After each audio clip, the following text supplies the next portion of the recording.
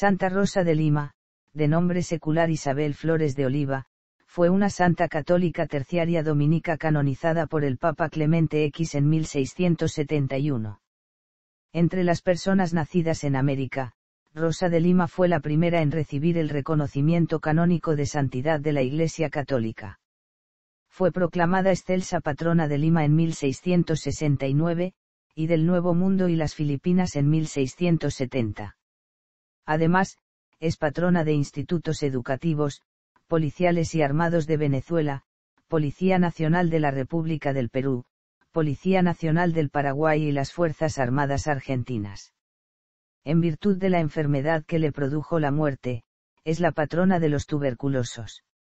Es llamada por los niños Santa Rosita. Primeros años.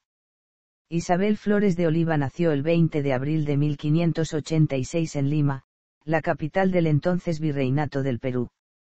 Fue hija de Gaspar Flores, arcabucero natural de Baños de Montemayor, provincia de Cáceres, España, y de María de Oliva y Herrera, hilandera y costurera, natural de Huánuco. Además, fue la cuarta hija de doce hermanos, de los cuales solo se conoce a nueve, Gaspar, Hernando, Bernandina, Francisco, Juana, Antonio, Andrés, Jacinta y Francisco Matia. José Manuel Bermúdez, uno de sus biógrafos, contribuyó a extender la opinión de que el nacimiento de Rosa ocurrió el día 30 de abril, pero en los registros del proceso ordinario se encuentra que la madre de Rosa y otras personas, entre ellas Fray Pedro de Loaiza, confesor de Rosa y su primer biógrafo, declararon como fecha de su nacimiento el día 20 de abril. Fue bautizada, según su documento de registro, el 25 de mayo de 1586, en la parroquia de San Sebastián, en su ciudad natal por el sacerdote Antonio Polanco, siendo sus padrinos Hernando de Valdés y María Osorio. A los tres meses de edad una criada afirmó haber visto su rostro transformarse en una rosa, y desde entonces era llamada Rosa por su madre. A temprana edad, emulando a la terciaria dominica Santa Catalina de Siena, empezó a ayunar tres veces por semana y a realizar severas penitencias en secreto. Su compañero de juegos fue su hermano Hernando, quien siempre la apoyó y ayudó. A los 12 años, se mudó con su familia hacia Quibes, un pueblo a 60 kilómetros de Lima, ubicado en el valle del río Chillón. Es aquí donde recibió la confirmación de manos del futuro santo católico Toribio de Mogrovejo, su padrino fue el sacerdote del pueblo Francisco González. Es en Quibes donde, al parecer, empezó con sus mortificaciones contrayendo un reuma muy fuerte, con consecuencias dolorosas para su recuperación, que ella ocultaba a su madre. El día de su confirmación, en el pueblo de Quibes, el arzobispo Toribio de Mogrovejo la confirmó con el nombre de Rosa. Aunque le mortificaba que la llamasen así porque se burlaban de ella, ya que era la única con ese nombre. A los 25 años, aceptó y quiso que la llamaran Rosa de Santa María porque, según relató su madre, fue a conversar con un sacerdote a la iglesia de Santo Domingo y le manifestó la molestia que le causaba que la llamen Rosa. Pero el sacerdote la tranquilizó diciéndole, pues, hija, no es vuestra alma como una rosa en que se recrea Jesucristo con esto quedó tranquila y segura del nombre que le habían dado. Más adelante, según sus biógrafos, ella afirmó que en episodios de tipo místico, la Virgen del Rosario y el Niño Jesús le confirmaron el nombre. Regresó a Lima con su familia ya siendo una joven. Debido a problemas económicos de la familia, trabajaba el día entero en el huerto y bordaba para diferentes familias de la ciudad y así ayudar al sostenimiento de su hogar. Bajo esas condiciones precarias, también veía a su alrededor otra pobreza más humillante, la de los indios. Su aya Mariana, quien era india, la ayudó a tomar conciencia de la humildad de estos individuos. Entre ellas existía tal compenetración que el alma de Mariana veía a Rosa en toda la antigua población inca, maltratada por los hidalgos españoles. Rosa decía, si los cristianos están obligados a predicar amor por todas partes, porque llegaron a América con guerras, destrucción y odio. Esa idea la torturaba, y se preguntaba con angustia, ¿por qué deben sufrir tantos indios? No encontró respuesta hasta que descubrió el valor redentor del sufrimiento. Cuando fue admirada por su belleza, Rosa cortó su cabello y se echó pimienta a la cara, molesta por haber atraído pretendientes. Rechazó a todos sus pretendientes, a pesar de la oposición de amigos y familiares. Rosa pasaba varias horas al día observando el sagrado sacramento, el cual recibía a diario, una práctica extremadamente rara en aquella época. Finalmente, después de diez años, hizo voto de virginidad. Rosa atrajo la atención de los frailes de la orden dominica. Ella deseaba convertirse en monja, pero su padre se lo prohibió, por lo que al cabo de unos años ingresó en la tercera orden de Santo Domingo a imitación de su admirada Santa Catalina de Siena. A partir de entonces se recluyó, prácticamente, en la ermita que ella misma construyó, con ayuda de su hermano Hernando, en un extremo del huerto de su casa. Solo salía para visitar el templo de Nuestra Señora del Rosario y atender las necesidades espirituales de los indígenas y los negros de la ciudad. También atendía a muchos enfermos que se acercaban a su casa buscando ayuda y atención, creando una especie de enfermería en su casa. Muchos biógrafos escriben que ayudó a Fray Martín de Porres, lo cual no está probado en el texto del proceso de Martín de Porres, el cual es santo desde 1962. Rosa se permitía dormir solo dos horas al día, de tal forma que pudiera dedicar más tiempo a la oración. Usaba una pesada corona de plata, con pequeñas espinas en su interior, emulando la corona de espinas de Jesucristo. Santa Rosa y la defensa de Lima. En 1615 buques corsarios neerlandeses deciden atacar la ciudad de Lima, aproximándose al puerto del Callao en días previos a la fiesta de la Magdalena. La noticia corre pronto hasta Lima y con ello la proximidad y desembarco en el Callao, lo que altera los ánimos de los ciudadanos. Ante esto, Rosa reúne a las mujeres de Lima en la iglesia de Nuestra Señora del Rosario para orar por la salvación de Lima.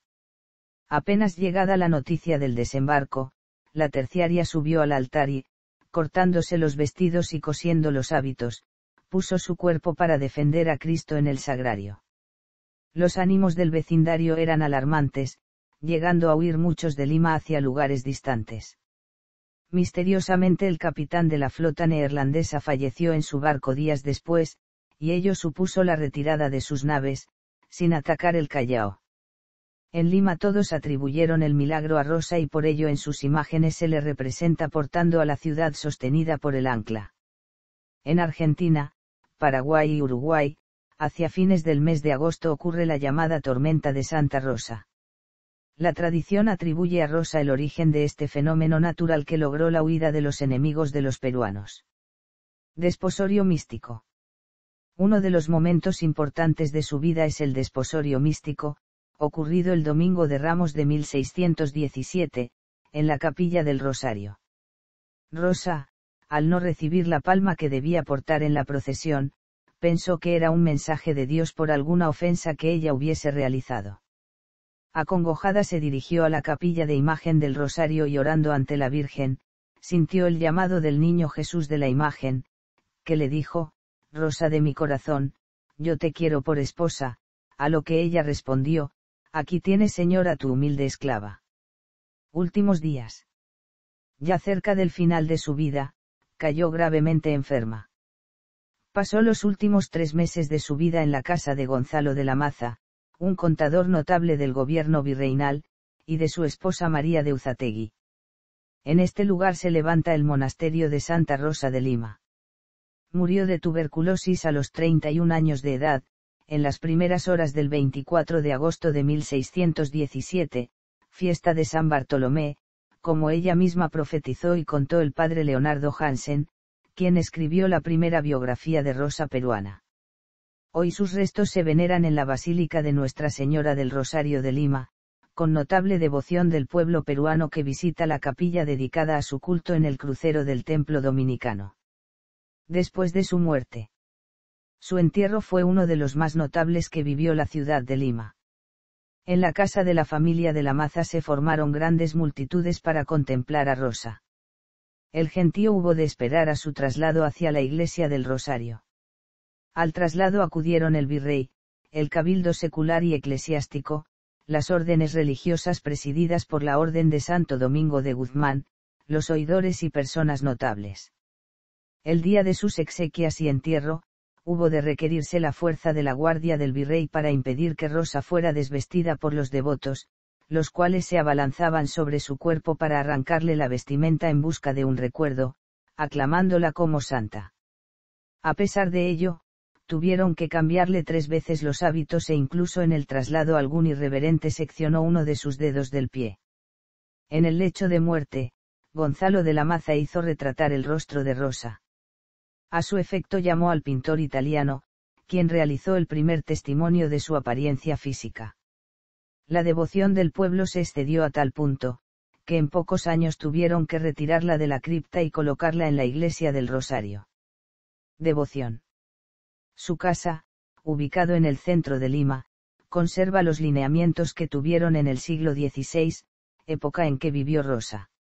Anualmente es visitado por miles de devotos, peregrinos y turistas quienes recorren los ambientes que estuvieron directamente ligados a su vida y caridad para el prójimo. Se conserva como reliquia una ermita donde ella rezaba. Cerca hay un pozo de 20 metros de profundidad donde sus devotos depositan sus deseos escritos. También se conserva la habitación donde dormía, la habitación en la cual nació y la enfermería donde atendía a sus hermanos necesitados. La basílica santuario fue empezada a construir luego de su canonización, con posteriores restauraciones durante los siglos XVII y XX. Hubo de ser remodelada y fue inaugurada finalmente el 24 de agosto de 1992. Este lugar es principal punto de peregrinación de todo el Perú y su arraigo popular es comparable al de la Virgen de Guadalupe en México. La figura de Rosa de Santa María representa un símbolo de integración del pueblo peruano. En ella convergen todas las clases sociales. En 1747 se construyó en Arequipa el monasterio de Santa Rosa, dedicado a la Santa Limeña y que hasta la fecha alberga una comunidad de religiosas dominicas de clausura. Formó parte de la familia dominicana, de la provincia de San Juan Bautista del Perú. Sus flores preferidas fueron las margaritas, los claveles y las rosas se han escrito cerca de 400 biografías sobre ella. Y se han realizado más de mil rostros en lienzos, estampas y esculturas. Hechos, entre otros, por renombrados artistas como Francisco de Zurbarán, Claudio Coello, Angelino Medoro, Daniel Hernández, Teófilo Castillo, Francisco González, Sérvulo Gutiérrez y Walter Uaman. Festividad en el rito romano se inscribió la fiesta de Santa Rosa de Lima en el calendario general romano en el año 1727, indicando como fecha de la celebración el día 30 de agosto, entonces el día más cercano del aniversario de la muerte de la santa no ocupado por la celebración de otro santo. La revisión general del calendario romano general decretada en el año 1969 liberó el 23 de agosto, día anterior al aniversario de su muerte para los países hispanoamericanos de los que es patrona, como en el Perú, se sigue conservando el 30 de agosto. En la República del Perú, el 30 de agosto es un día feriado y su imagen recorre las calles de Lima. En el mes de agosto se rinde culto solemne a la Santa en el distrito de Barranco que culmina con el recorrido procesional del día 30 de agosto. Santa Rosa de Lima también aparece en los billetes de 200 soles, el de mayor valor en circulación en la República del Perú. Cédula Real de Consagración. Canonización. A pocos días de su muerte se reunieron numerosos testimonios sobre su vida y virtudes. En 1634 se presentó a Roma la causa de beatificación. La beatificación se realizó en el convento dominico de Santa Sabina en Roma, en 1668 fue canonizada por Clemente X el 12 de abril de 1671, proclamándola por principal patrona del Nuevo Mundo. En Lima, Roma, España y todos los países de América y Europa se celebraron fiestas suntuosas en honor de la primera santa natural de América. Los pontífices en sus respectivas bulas la proclamaron santa con el nombre de Rosa de Santa María, y que posteriormente hubo de convertirse en Rosa de Lima, nombre toponímico común a muchos santos en el orbe cristiano.